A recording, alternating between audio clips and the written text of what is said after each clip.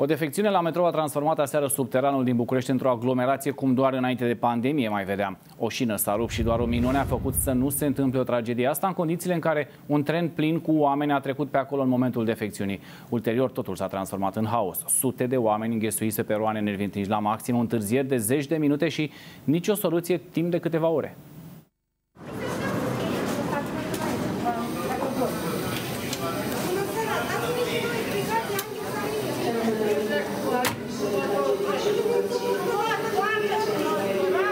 O șină defectă a făcut ca metroul bucureștean să circule în regim de avarie vreme de mai bine de 3 ore. Care mergeți spre Republica, puteți să mai așteptați Adică ne plimbăm în două stații de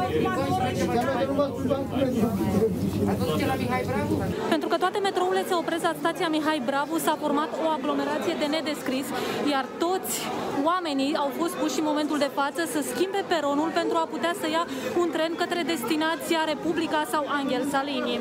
Se ia metroul de aici, doamne, dar nu știm când. Nu știm încotro merge metrou acum. Noi nu știm încotro merge.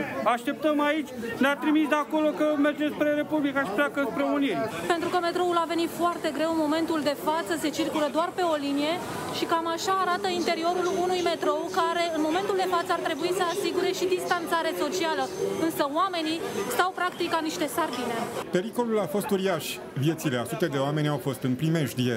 A trecut un tren, mecanicul a sesizat un dezechilibru și bineînțeles că a anunțat și apoi s-a oprit acolo circulația. Putea să zboare acea șină și să arunce trenul de pe, de pe șină.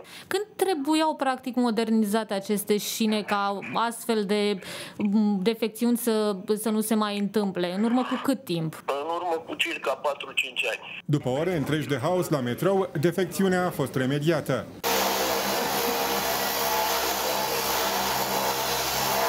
Ulterior, conducerea Metrorex a explicat de ce intervenția echipei tehnice a avut loc cu întârziere. În contextul unei defecțiuni, în jurul orei 16.55 la o șină dintre stațiile Mihai Bravu și Dristor 1, s-a intervenit în primă fază pentru menținerea traficului prin reorganizarea circulației cu pendularea trenurilor. S-a luat măsura ca intervenția de remediere să aibă loc după trecerea orei de vârf și pentru a se menține un interval de succedare redus pe firul 2, unde circulația a fost reorganizată. Cu metroul bucureștean circulă zilnic câteva sute de mii de oameni.